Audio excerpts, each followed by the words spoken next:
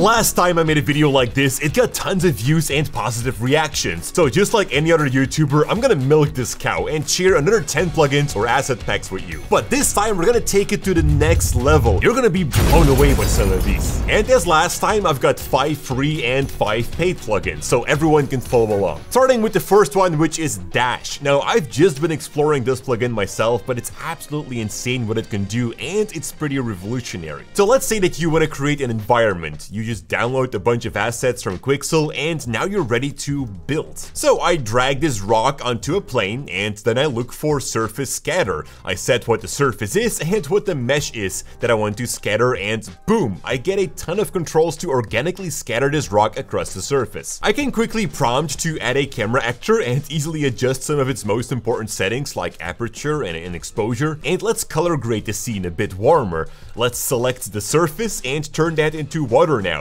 It is that easy. I can scatter some trees around and add some imperfections with decals. They have their own manipulation tool using your mouse, so you can very easily place these decals around. There's also a physics tool to populate a scene and a ton of more to explore. I actually reached out to them and they were super excited that I wanted to make a video about their tool, so they were very kind to give you all 50% discount using the code CINECOM. I'll leave a link in the description down below. Now, you might be wondering, Jordy, how do you do all of this in real time without lags? Well, that is because I'm working on the MSI Creator Z17 HX Studio, a beast of a workstation laptop with some really cool features. I'll talk more about it soon, but at all time you can learn more about this laptop by clicking the first link in the description down below. Thank you MSI for sponsoring this video as well. So moving on to the next one, which is a free plugin called Physical Layout Tool. It's basically the physics tool from Dash, which allows you to organically place objects in a scene. Very easy to stack objects, make something drop or collide in on each other. Next up is another paid plugin called Dragonfly. If you're into virtual production, this plugin gives you a ton of more control over your camera actors. It comes with its own app to make your shots, save them as snapshots, you can bind it to a joystick for easier control, and it also integrates with tracking systems such as the Vive Mars. There are smoothing controls for your captures, slow motion playback for if you have trouble keeping subjects in frame, and so much more. We actually used it on a couple of shoots in the past and it really speeds up a virtual production. And talking about virtual production, we used the Z17 in our moon landing short film, which was entirely made on a green screen and the background is Unreal Engine. With the latest 13th generation Intel i9HX CPU and the NVIDIA RTX 4070 Studio, anything is possible, from editing high-resolution videos to 3D design or simulations, and you can do all of that on a 17-inch Quad HD resolution IPS display running at 165 Hz. It covers 100% of the DCI-P3 color profile, making it perfect for color-accurate tasks. It has a 16 by 10 golden ratio, so you get a little bit more working area, which is really nice. It's also a touchscreen, which is really fun to work with actually, and it supports pen touch. Now, of course, it's a laptop, so mobility is important as well. It got a 99 watt hour battery, giving you plenty of power,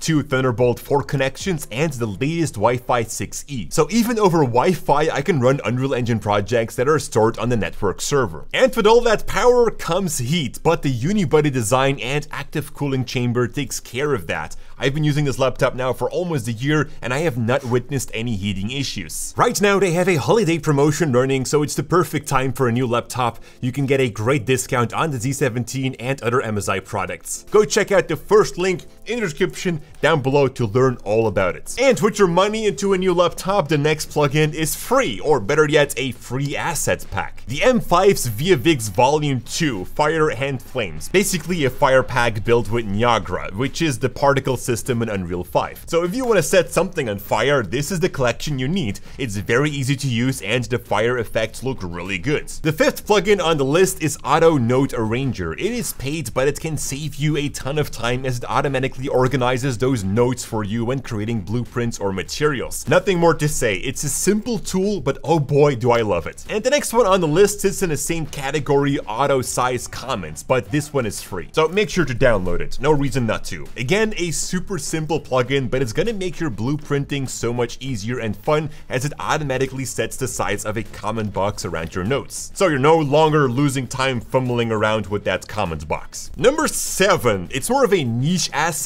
but something really unique and absolutely amazing. It's Machina Fractals. It's basically a three-dimensional fractal, which is something mathematical, but you can visualize it. So it's very abstract, but you can create really stunning things with it. Really cool for sci-fi projects, for instance. You know, it's just a blueprint with a bunch of settings to create something unique. I bought it some time ago because I thought it was really cool, but I haven't really used it in a project yet. Maybe something for next year. All right, next up is another free building plugin. This one is called Level Design Assistant. Now, I gotta be honest, I haven't used it yet, but it looks really cool and it's free, so there's no harm in trying it out. It basically helps you to quickly distribute a lot of meshes, but to do that in a chosen way. So you add offsets to place chairs around the table, or you can duplicate something that follows a spline and a ton more. And this brings me to a very special assets pack. In the previous video, I put it in a free category as it was something that I created myself, but it sort of was a demo. I basically scanned a light fixture and gave it a bunch of controls via a blueprint. I'm gonna keep that one light for free so everyone can try it out,